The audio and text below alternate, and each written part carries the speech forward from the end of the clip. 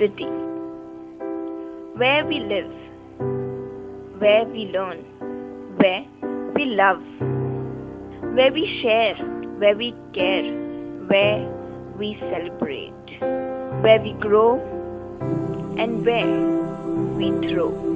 The city is our home. We must take care of it. It's not complicated. If you want to make it better, don't be bitter. Take the initiative. Cleanliness is next to godliness. Don't be mean.